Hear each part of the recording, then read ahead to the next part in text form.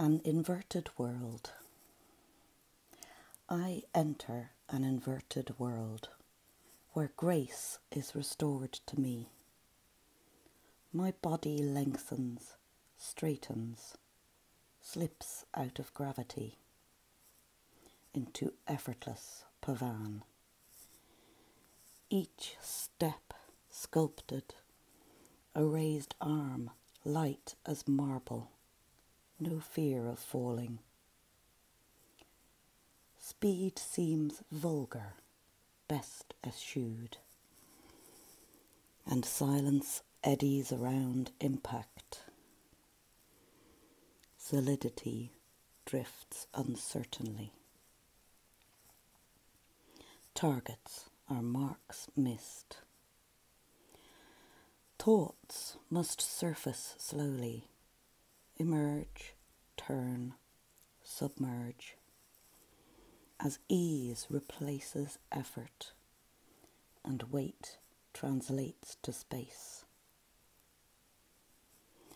Return to this harsh world is constriction and contraction, in shivering and stumbling under my body's burden.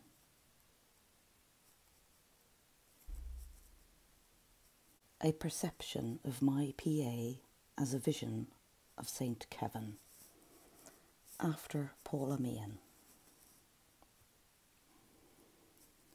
Rosie's telltale meow, muffled by her prize.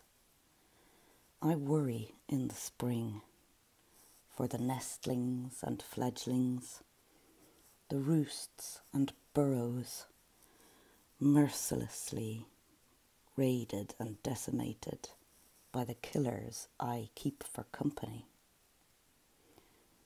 My PA, my proxy body, runs out to intercept the murderer. We have vain hope, impelled by referred duty.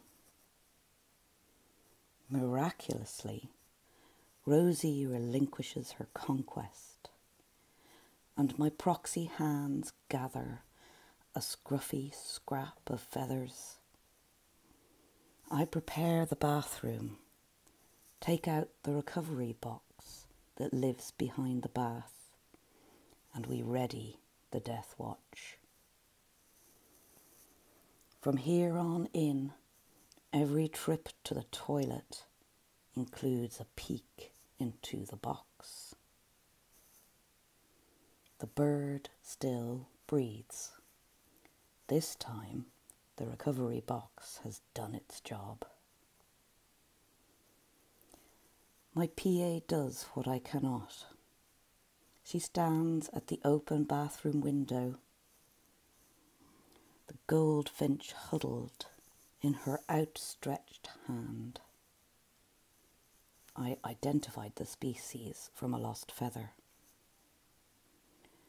She takes the opportunity to examine the traumatized creature.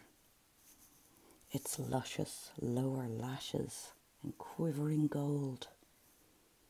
On my behalf, she tolerates a curious spider, politely poking it to move along.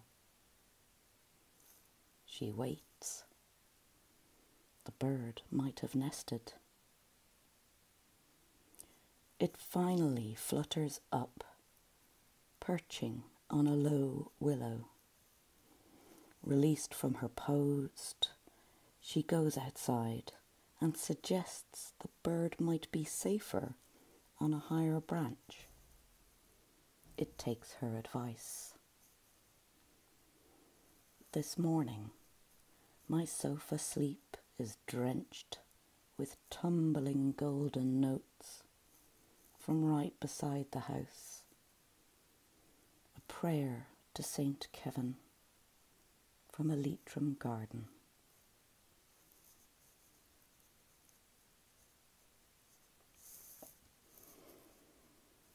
My scarecrow body. I look human from a distance, and perhaps to other species. But I cannot stand upright without this stake and crossbeam. My legs hang unevenly from this loosely tied waist of an ill fitting torso. These arms ache to incapacity, serving as perches for talkative crows, offering comfort to the enemy. I stand alone out here, a mockery and a warning to be battered by circumstance, a hat stand for cast offs. I am taken for a cipher, empty and impossible, but only my outline was constructed. My inside is my own.